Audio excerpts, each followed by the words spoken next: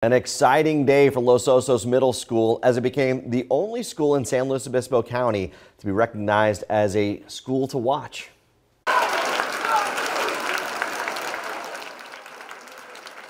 Something to cheer about. The award encompasses four focus areas, including academic excellence, developmental responsiveness, social equity, and organizational structures and processes.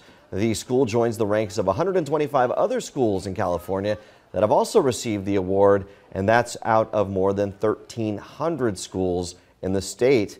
Pretty impressive. Here's what Vice Principal Carl Bloom said about the award. The big thing is it shows that we have an incredibly caring staff and that's committed to our students and it's reflected in everything that happens at our school. It's a healthy place to go to school. Kids love being here. We see that in all kinds of surveys. And um, in a time when sometimes school, and especially middle school, is challenging, we think we're doing a really amazing job here.